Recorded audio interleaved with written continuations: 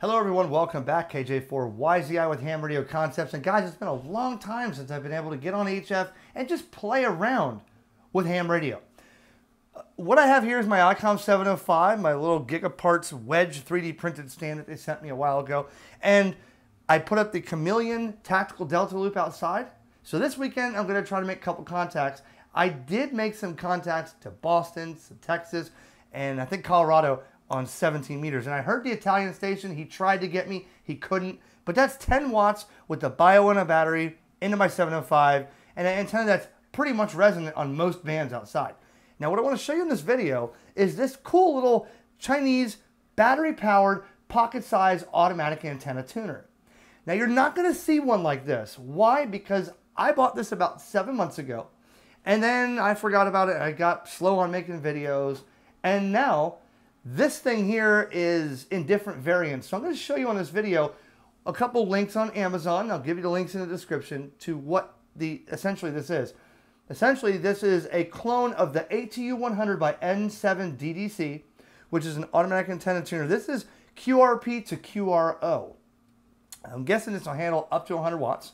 And you'd simply push the button and talk, and it will tune. It automatically tunes within seconds. Not even two, three seconds, it's tuned and you can do it manually. And there's a lot of stuff it tells you on the screen about the efficiency, the capacitance and inductance that it did tell it did use to make the tune, your power output, and the actual efficiency and power output to your antenna because you're not tuning your antenna, guys. You're matching your radio to an unmatched antenna to make it happy. I'll say it till I'm blue in the face. If that's the case, then why does it tell me what's actually going to the antenna?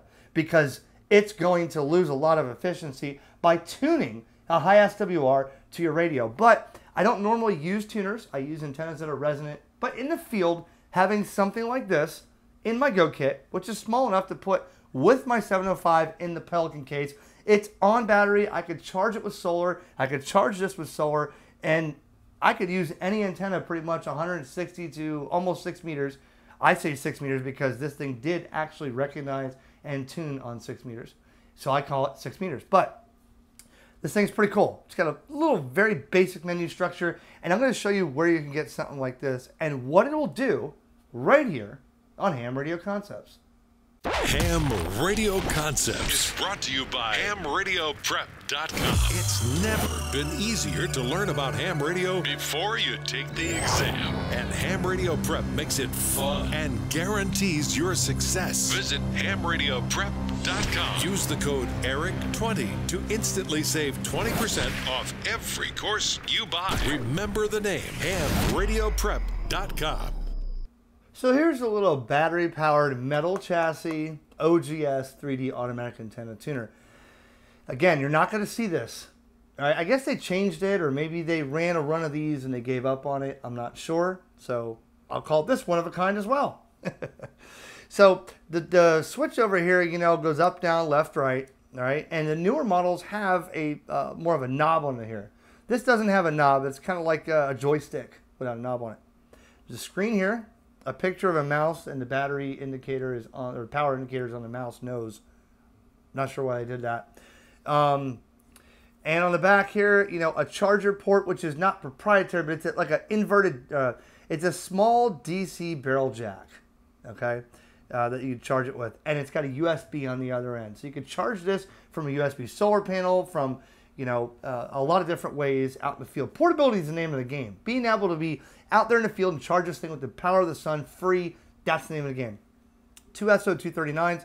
If you want to take it apart, there is Allen screws. But I'm going to show you what's inside this before we get into it anymore is this. This is pretty much what's happening in there, okay?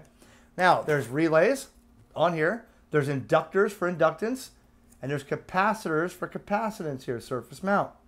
And you have SMAs for in and out. You have a toroid here and or a uh, yeah whatever you call it. Uh, little, little coil here some resistors over here uh, an IC chip and then uh, a couple electrolytic capacitors here and uh, looks like a transistor a diode and here's your battery in and out for your power and your cables for the screen here okay? This here's the screen on this one right actually the screen that comes with the ATU100 kit is different than what's in mine, right? And then your little cables that connect from this to that. So that's what's inside this thing without me having to take it apart. But what it's doing is as it detects the input, it's going to use the appropriate inductance and capacitance through different relays, okay, all through here with the traces to come up with the, the best match for the lowest SWR for your radio to be happy. You're creating a match so your radio is happy to a non-matched, perfectly matched antenna. Okay, that's what this is. Bottom line is doing. Okay, so uh, to turn this on, you would basically hold this up. Actually, yeah, there it goes. Okay. Now again, the the new ones might not be like that. They might be different. On the screen here, you'll see you have on the top left your power output, your bottom left your SWR, top right the inductance, bottom right the capacitance. And if you hit down, you'll see tune or reset. So when you're in tune mode, it's automatically going to tune when it detects an RF signal. It's going to see the SWR on your antenna, the RF coming in from the radio, and it's going to tune it. It only takes a second or two. You'll hear the relays. I'll show you. There's a little menu if you hold to the left. Okay, this does say QRP to QRO. So what I understand is that would be set to 100 watts, I guess. I set it to 10 watts, which would be one, because that's what I'm using maximum output from the 705. And we hit down minimum SWR. You know, what's the minimum SWR? I go all the way to about 1.2 right there. And then max power 90. We're going to go down to 10. And then I'm not sure what that is. SRCDEL. Not sure what that is. Loss indicator on. Losses 12. Not sure what that is because I can't find a manual on this. All right. And that's it.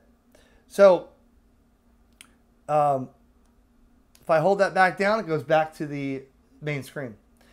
And I'm going to transmit in here. I'm going to show you that, and, and this is blinking because the battery's almost dead. I've been using this for mostly all day for testing to make this video, not because I need it. The Chameleon Delta Loop outside does not need this tuner. That's the cool thing about Chameleon antennas. So if you want to turn it off, twice up. That took me forever to figure out how to turn this thing off and on.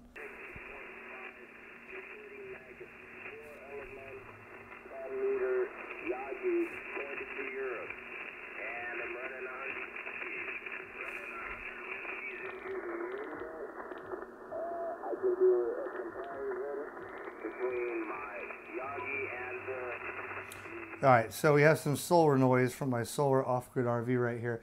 I have the tuner connected. And here's what I'm to do. I'm to make this practically easy to understand. A constant carrier into this, like on FM or AM, would give you the best results. But if I do that on video, I'm going to get yelled at by my YouTubers because certain bands and certain, you can't have certain modes. You can't transmit FM on 40 and yada yada. So you don't have to though. I can take this and talk into it and it will tune. I'm going to show you. There's somebody on 24, uh, so we're go down here. I'm just going to throw out my call sign and watch up here and watch here. This is the SWR that the radio's seeing from this. This is the SWR result. Ready? KJ4YZI testing. Do you see how fast that drop it down? KJ4YZI 1.28 to 1. Now, where I can transmit FM is up here in the FM portion, just to give you an idea of what happens. Ready? We put FM. Now watch. I'm just going to transmit my call sign with the constant carrier on FM. You're going to see it's going to drop that thing almost flat. Ready? KJ4YZI testing. Do you see that? Is the frequency in use, KJ4YZI, 1.05 to 1. Now, if I were to use AM or FM on certain bands, a constant carrier, eh, yeah, but I don't want to do that. Okay, so here's what we're gonna do. We'll go to 20 meters. Okay. Watch. I'll just talk into it. Watch the SWR. Watch it. Is the frequency in use KJ4 or YZI? 1.19 to 1, 1.2 to 1. Okay. And again, this antenna is not non resonant on most of those bands. So this tuner is probably causing more loss than the antenna will do without it. All right, but let's go down to 80 meters. All right, watch. KJ4 YZI testing. YZ, KJ4 YZI 1.13 to 1. It tunes that fast. So just bear with me for a second. I'm going to put some links in the description. I want you to see a couple of models that are not like mine and some that are like the one I'm showing you in this video, just so you don't buy the wrong one and get misled. The links will be in the description. This kind of looks just like mine, doesn't it? Maybe different wording and stuff, but it is not battery powered. You know, it's $100 and it does do 100 watts and it looks kind of reminiscent of mine, except it is not battery powered, right? Now, if you go back and you look at ATU 100, if you search that or click the links in the description, it'll give you all these. Um, so, like for instance, this one here. This is uh, right here. This one's sort of like mine. Now it's got uh, you know a couple option menu things with a USB-C for charging. The screen actually looks more like mine, and this one is battery powered. Okay, so if you go down here, go all the way down, all the way down. Um, lithium battery right here, 3000 milliamps. It only uses 400 milliamps of current consumption, but it's 3000 milliamp battery built in. And this will do up to uh, working throughput 100 watts and power measurement up to 150, right? So that's another one that looks like mine or doesn't look like mine, but works like mine. But that only does up to 30 megahertz. See that? Some of them will do up to six meters, which would be like um, this one here. 160 to 6 meters, $109. But does it have a battery built in? If you want a battery, you know, you may not want a battery powered one. That's fine. There's a lot of variants of this thing out here. Um, this one says one lithium iron battery required included. So this one does have a battery built in. Right here, 1350 milliamp hour battery included. Okay. So that gives you an idea of a couple different ones. And there's a lot of variants on here. Like I said, if you want to do a do it yourself kit and you want to get this, you can wind your own little coils and toro, you know, inductors, whatever, and solder all your pieces and relays and do it yourself. Or here's a thousand watt version. Look at this $148 for a thousand watt uh, version of what I showed you. Okay. And, and you could put this stuff, you know, um, these, these do it yourself boards like I showed you Here's one up here, right? 42 bucks. So if you want to put this in your, uh, you know, homemade SDR your BitX or some sort of homebrew transceiver and have an automatic antenna tuner built inside, you can get one like this already made or, you know, put it somewhere in there and run the in and out from your, you know, PA final section to the SO239 in the back of the radio, and away you go. So these links are in the description. But really, I just typed in ATU 100 antenna tuner. But I'll give you uh, three or four of the links of what I put in, and a link that should take you to the search result because people are always going to ask, wait a second, Eric, what's the difference between this one and this one? Well, it looks to be the battery and or the working range of the frequency. That's where they're all at. FT8. Look. 5.9 on FT8. Look at this. Oh my gosh. There. There you go.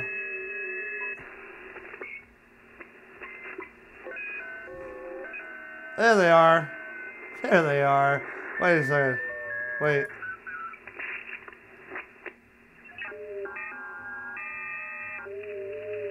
There they are, look. There is the tuner video here, the OGS 3D automatic antenna tuner. What do I think? You know, for like what I paid for it, the 60 something dollars from China, it's it's gonna be in my Go kit. And the, the reason is is because somebody's gonna have an antenna out there that I need to connect to that's not going to be worth a damn and I need to use a tuner.